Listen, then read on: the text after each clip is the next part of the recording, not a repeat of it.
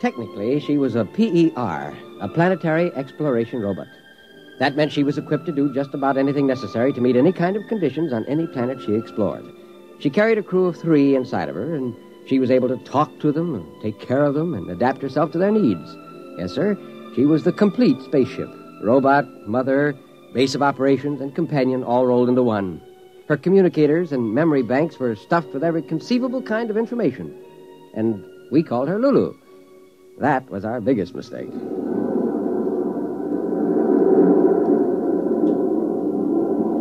We're on our way, fellas. Mother Earth, here I come.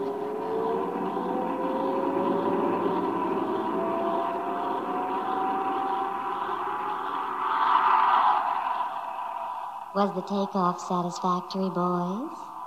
A thing of beauty, Lulu. The captain's compliments. Thank you, boys. No matter how long I live, I'll never get used to a ship talking to me. Oh, you lack a poetic soul, Gus. Now, me, I catch the full wonder of the situation. Personally, I'm hungry. What would you boys like the kitchen to fix for supper? Uh, I'll have a nice, juicy steak.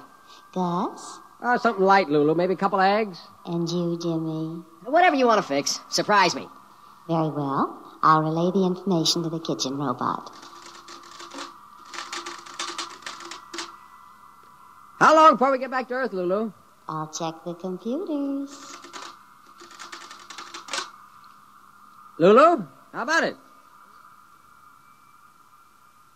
Hey, you suppose something's gone wrong? Lulu never took this long to give me an ETA. Oh, if something went wrong, it'll repair itself. Lulu's a self maintaining machine, remember? Well, the same she's taking a long time about giving us an ETA for Earth. Hey, Lulu, what do you say? I say that I love you. Gus, did you hear that? These robot ships aren't supposed to have a sense of humor, are they? I never heard of it, but uh, it could be. After all, they have technicians pouring all kinds of information into their electronic memory banks. Yeah. Which one of us is the lucky man? All three of you. You, Gus, and you, Jimmy, and you, Ben. I love all three of you. Good Lord, do you really I think... think somebody goofed when they designed this ship. I think it's that poetry Jimmy's been writing and reading out loud. wait a minute. Lulu, Yes, darling. you haven't answered my question. When do we reach Earth? Earth? I've decided we aren't going to Earth. We're eloping. Now, wait a minute. I'm going to take you away where we can be alone, just the four of us. Then, someday, you'll learn to love me as I love you. Now, this isn't funny anymore. Ben, throw that emergency. We got to get the ship back on course. Right. I'm sorry, boys, but I've disconnected the circuits. Disconnected. Now, look here, you crummy robot. You're a machine. Do you understand? A machine. You were designed to do what humans want you to do. You've got the prime command built into every circuit in your system. Thou shalt not harm a human being. But I'm not harming you. We'll be happy together. Oh, brother. Some technician must have read some cheap novels into this baby system. Or she's absorbed Jimmy's sloppy poetry and made some kind of synthesis out of it. It isn't every poet who can move a machine. They were beautiful, James. What were beautiful? The poems. That's it. What did I tell you? For two years now, he's been reading that uh, Moon June spoon junk out loud, and this robot's been absorbing it. It's created a whole new electronic synapse. Let's face it, boys. She loves us.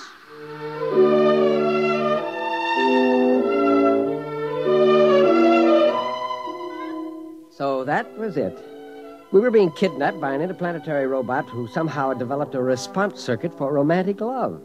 Not just the practical kind of love, oh no, but the kind that exists in cheap novels and romantic mags and the maudlin poetry of one James Carter, amateur lyricist. And we went to sleep that night, hoping by morning Lulu would come to her senses. Uh-uh.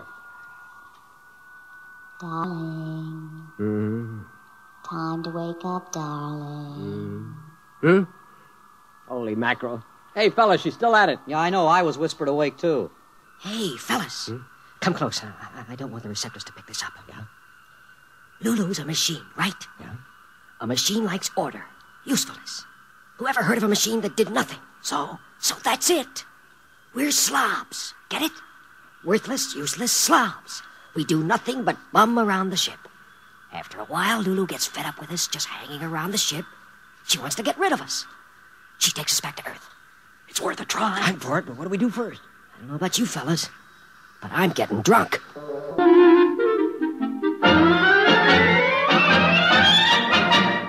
So that's what we did.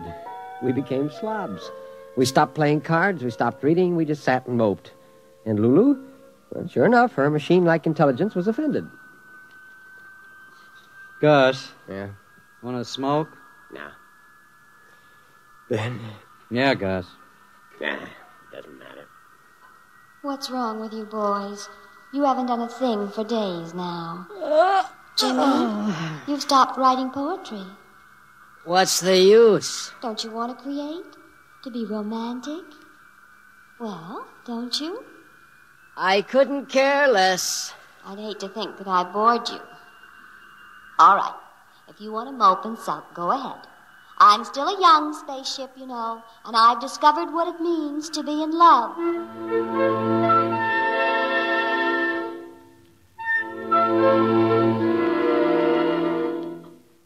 Maybe Lulu knew what we were doing, but it didn't matter.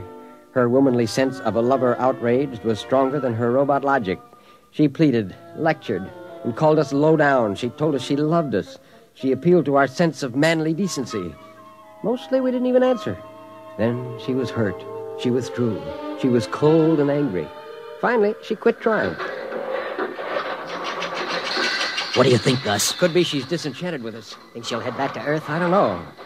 That's the thing that worries me. All that racket coming from the machine Well, shop. she's probably making some repairs to the engines. Happen all the time. Not like that, hour after hour. Well, maybe she's just trying to keep busy to take her mind off her broken heart. Nah, you and your poetic images. It was your junk that got us into all this trouble. My poetry is not junk. Now, cut it out, fellas. We aren't supposed to care about anything, remember? We're louts, sloths, ne'er-do-wells. No self-respecting girl spaceship would have us. Nah, Gus is right. We better not let down our guard. Hey, sound has stopped. You're right. Good morning, boys. I just want to tell you that as far as I'm concerned, you can all go straight to blazes. I think we did it. Yeah, now she'll just lump us back on Earth. There's something wrong here. A woman scorned, you know. Oh, there's nothing to it. Eh, what's that sound? Wow, it's coming closer. It sounds like. Oh, no, it couldn't be. Footsteps? Fellas, huh? The compartment door.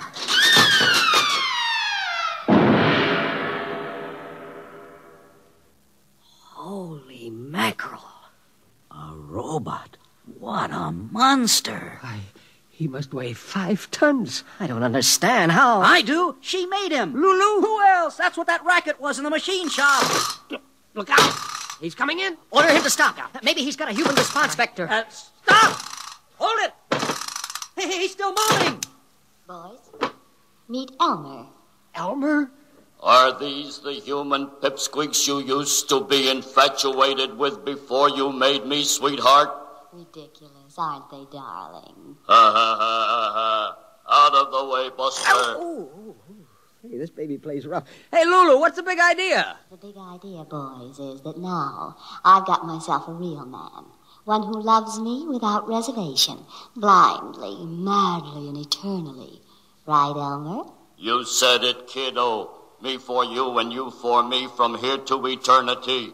I am yours and you are mine, and I cannot live without you. You're my everything. How much do I love you? Let me total up the ways. Be mine, be mine, I'm yours. Hark, what soft light yonder shines. Your beauty is like the rose. It's love, love, love, love, love, love, love. This boy has slipped a ratchet. He's reading back all the canned junk somebody poured into Lulu's memory tapes. Isn't he romantic? Oh, he's a doll. And most important of all, he loves me. Yeah, any fool can see that, Lulu. Now, look, how about taking us all back to Earth, huh? Five's a crowd, you know. And uh, you and Elmer will want to be together alone, huh? Alas, I wish it could be so, boys, but there isn't a chance. Why not, Lulu? He's a machine, you're a machine. You could make beautiful static together. I mean about taking you back to Earth. If I do that, they'll just dismantle us for disobeying our masters. No, boys, I'm afraid I'll have to head out to some other galaxy and dump you on an asteroid. Did you hear that? She's gone nuts. Do not talk about the woman I love like that. Now, take it easy, Elmer. Don't overheat your filaments. Come up to my control center where we can be alone, Elmer. Anything you say, lover. See you later, boys. Careful you don't overload her condensers, Junior. One other remark like that, and I will smash you, big boy.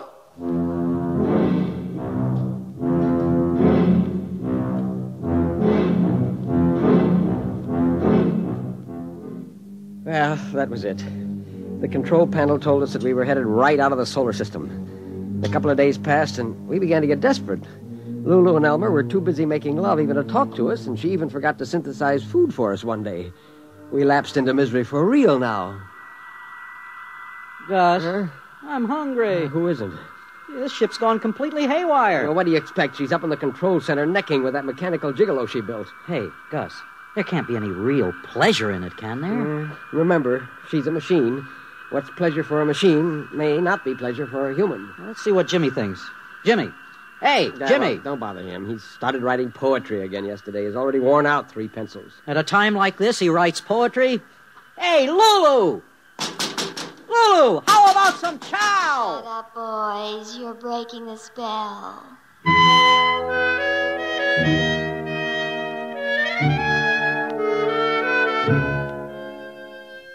That's how it went. We didn't get any food at all that day. By nighttime, we were worn out from banging on Lulu's walls. I was exhausted and fell right asleep. Then something woke me. Ben! Ben, wake up. What, what, what's up? It's Jimmy. I think he's gone off his rocker. Why? He's up in the forward compartment. He's opened the radiation shield so the moonlight and the stars can come in, and he's standing there alone. Come on, we better get him. The strain was probably too much. Yeah. Quiet now. We don't want to startle him. Wanderer of the far ways between the two faces of eternity she was. True forever to the race that forged He's reading poetry. To himself? To himself, or... space Hold it. Wait, I think I know what's blowing in her happening. Hey, you mean he, he's reading to Lulu? What's more important, she's listening. Go on. Don't stop. It's too beautiful. Wanderer of the far ways He'll ruin us. between the two faces of eternity she was. Uh-oh. True forever Here to comes the race Junior, and he sounds mad. Her. And with the winds of alien space blowing in her hair, wearing a circlet. Shut up. What are you trying to do, big boy, reading that stuff to my girl? Now, Elmer, take it easy, boy. Let me have that poem. I will show you what combustion is. No, sir. You can destroy me, but not this poem. This is my work of art. My love song to Lulu. Give me it. Jimmy! Let him have it. He'll kill you. Hey, he's gonna strike Jim! Jim, look out!